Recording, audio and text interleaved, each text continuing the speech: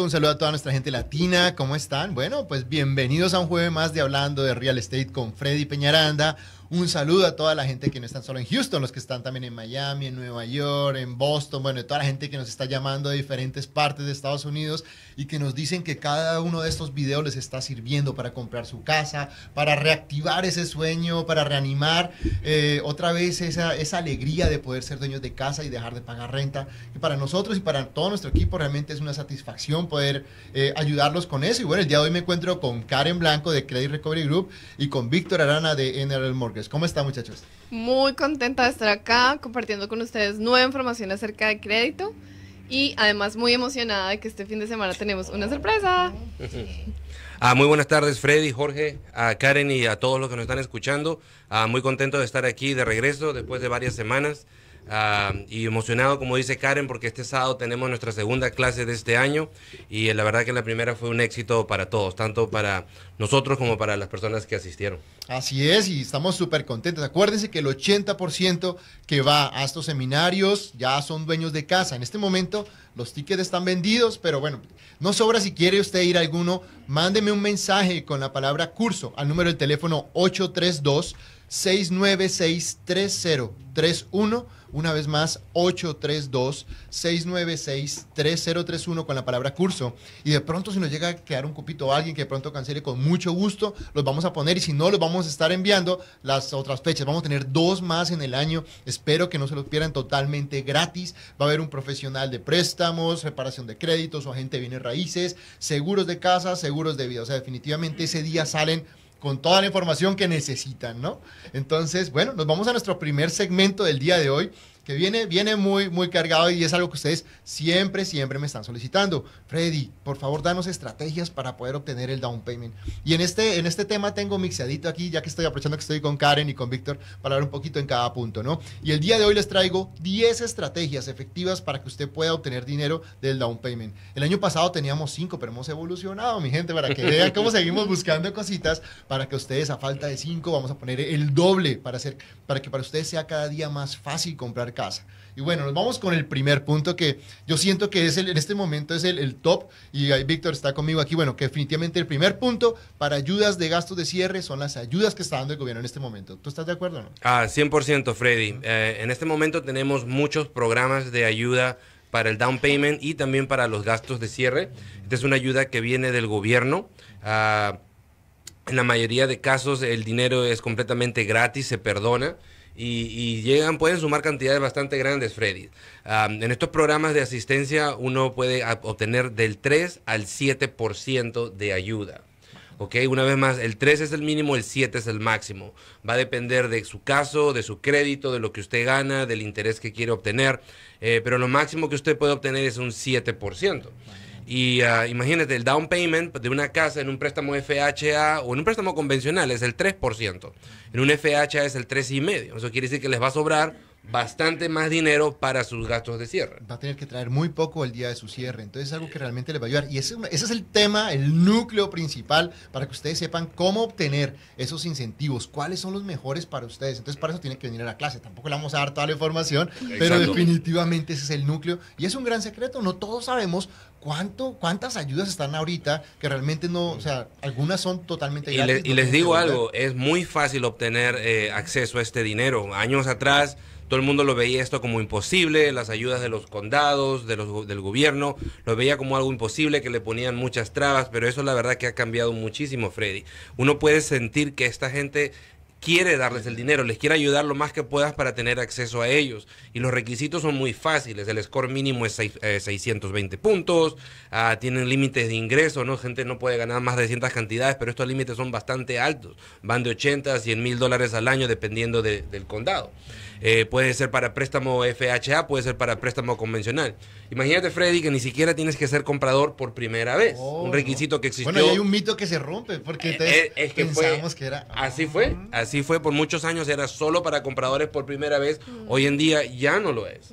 Ah, si digamos entre usted y su esposa ganan más de lo que es el límite, bueno, se puede quitar a uno de los dos de la aplicación para que así califiquen. Antes era el ingreso de la familia, ahora es el ingreso solamente del que va en la aplicación. Pero en fin, cada caso es diferente. Eh, hay personas que van a calificar a más de una opción y en ese caso ustedes eh, escogerían. ¿Cómo tienen acceso a esto, Freddy? A través del Loan Officer, ¿ok?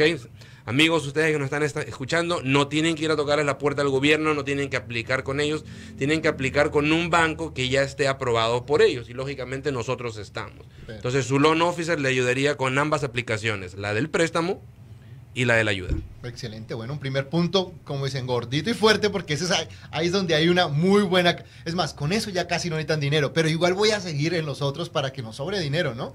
Bueno, segundo punto, en caso de que usted de pronto, obviamente ya tenga un muy buen ingreso o, que de pronto por algún motivo no pueda tener eh, eh, la ayuda, las ayudas del gobierno, pues tenemos para las personas que tienen el 401k, también eh, hay una opción en la que usted para, ese sí creo que es para compra de casa por primera vez, puede tomar hasta 10 mil dólares para poner para el engaño de su casa. Yo les recomiendo, siempre me dicen, Freddy, ¿cómo lo hago? Pues les recomiendo es que llame a la compañía donde usted tiene esto y les pregunte, quiero comprar mi casa por primera vez, ¿cuánto puedo tomar? Ellos ya le van a dar las condiciones de si tiene que volverlo, si no tiene que volverlo, pero lo que sí está claro es que pueden utilizar de ahí hasta 10 mil dólares y el banco lo va a permitir, va a ser un dinero que no va a tener problema al momento que entre, ¿no es cierto? Es, correcto, es correcto. Inclusive existe un documento que se llama términos de retiro. Ah, o Terms of Withdrawal, es un documento de 20, 30 páginas donde va a salir todas eh, estas, ¿no? las características de este tipo de retiro. Ven a la oficina, nosotros le ayudamos a obtener este documento, llamamos a su Fora 1K, nos metemos al website, imprimimos el documento y, se lo podemos ayudar a entender. Perfecto. Lo conocemos bastante. Punto número tres, eh, la devolución de los impuestos, mi gente. Ahorita que usted va a recibir ese dinerito, no se vaya a ir al dealer derecho a comprar un carro, muebles, en fin guarde ese dinero para su casa, como le estamos diciendo, si usted, si usted tiene una ayuda del gobierno con lo que le devuelven ya algún incentivo, ayuda del gobierno con lo que le devuelven de los impuestos, estoy seguro que con eso ya va a poder usted comprar su casa. Así es de que si ya le estamos uniendo, puede ir anclando una ayuda con la otra y definitivamente se va a dar cuenta que no va a tener que afectar su bolsillo o tal vez los gastos familiares para poder comprar su casa. Entonces, punto número tres es o es eh, era la devolución de los impuestos. Punto número cuatro, definitivamente podemos pedirle ayuda al vendedor o al constructor, en su caso. Incluso ahorita gracias pues, a Víctor con el Banco Del también estamos teniendo hasta mejores incentivos incluso que con los builders. Y pues está en una muy buenas manos, con alguien que habla español, 14 años de experiencia y definitivamente estamos cerrando casas nuevas que también tenemos incentivos. Pero si usted quiere, si usted va a comprar una casa usada, lo que sí está claro y lo que yo les digo es que lo ideal es que estemos, que la casa, la casa tiene que tener mínimo 15 días en el mercado y que no tenga ofertas para poder empezar a pensar como en algo de incentivos, ¿no? Depende de la casa, el área, pero ahorita ya de aquí a que nos vayamos acercando al verano, la cosa se pone más difícil para pedir, entonces definitivamente es el único parámetro que yo les, oh, no es general, pero lo ideal es que sea eso, que la casa por lo menos lleve 15 días y no tenga ofertas. Ahí usted ya puede empezar a pedir ayudas al vendedor. En el caso de las construcciones nuevas, si es de primer momento, pregunte por los incentivos y obviamente siempre van a poder comparar también con los préstamos de, de nuestro loan officer de confianza y pues con el que mejor definitivamente les dé las condiciones. Todos vamos a estar de acuerdo, nadie lo va a presionar hacia ningún lado porque pues básicamente todos estamos buscando es su bien, el, el, bien común de ustedes es lo más importante para todos nosotros y lo vamos a llevar hacia donde tenga más beneficios, ¿no es cierto? 100% cierto. Bueno, Punto número 5 es tener un fondo de ahorros a corto plazo. Y aquí le tengo un tip bien importante. Hay una, hay una, hay una app que se llama Capital con Q, como Capital con Q.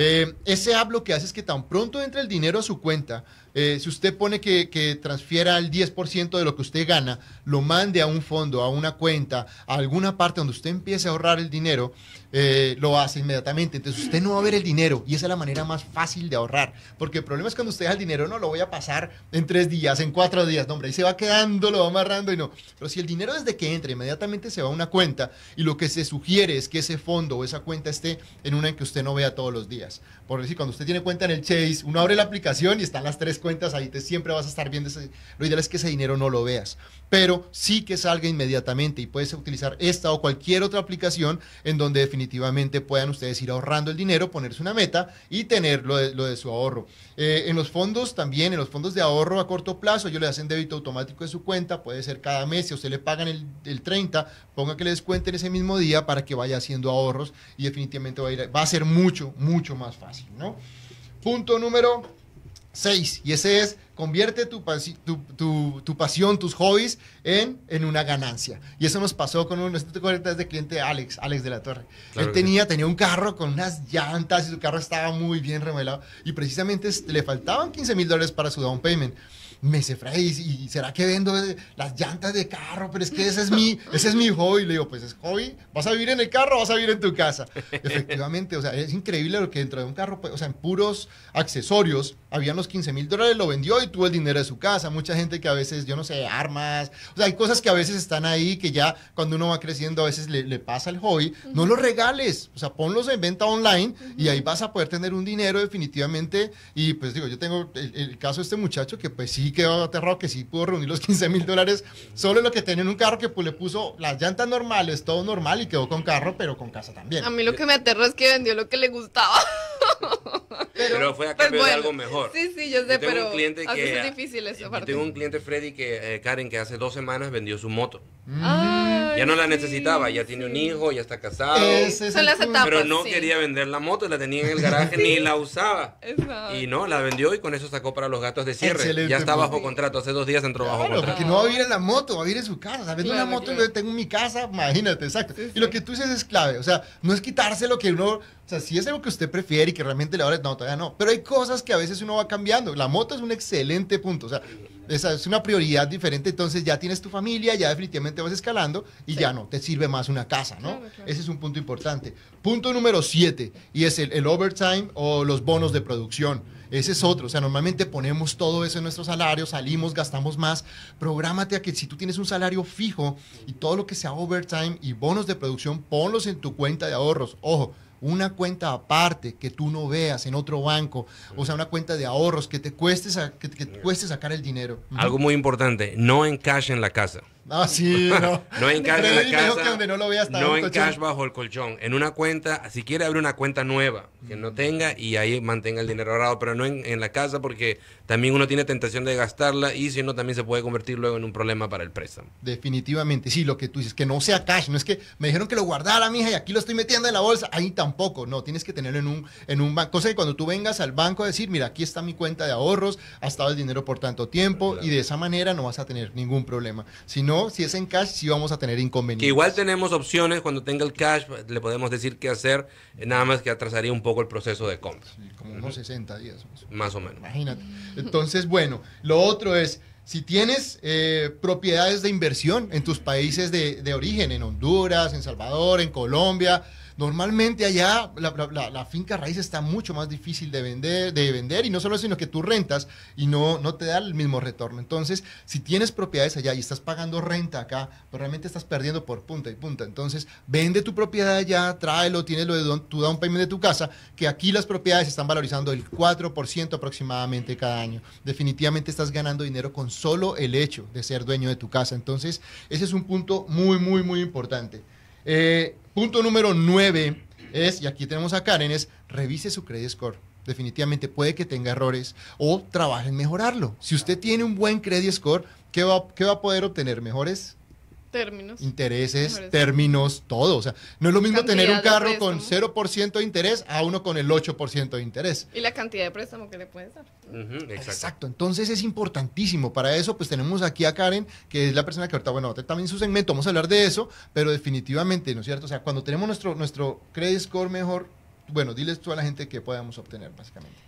Sí, podemos, bueno, estamos hablando de- la parte de la casa, pues puedes tener un mejor, una mejor cantidad de préstamo, es decir, que vas a poder tener la casa que tú quieres, no una casa de 80 mil dólares, vas a tener la casa de Ujú. 200 mil dólares, eh, o los intereses, pero yo también, pues esta parte va mucho para, Claro, no, sí, con un buen score de crédito, pues se van a se van a ahorrar dinero, como dice Freddy, en cualquier deuda que ustedes vayan a obtener. No es lo mismo pagar no mil dólares en un auto que 800 dólares o 700 dólares en un auto. Y con un buen score de crédito, eh, agarran un mejor interés en cualquier tipo de préstamo y así a- a- gastan menos. Mejor. exacto, si, si tú tienes un mejor credit score y te bajas de 1500 a 1200, ¿dónde tienes que poner esos 300 dólares una vez más? En la cuenta de ahorro. O En la sea, cuenta de ahorro. Ven cómo de paso De a paso le para vamos la casa. echando, o sea, po- poquito a poquito y vas teniendo, es más, te va a sobrar.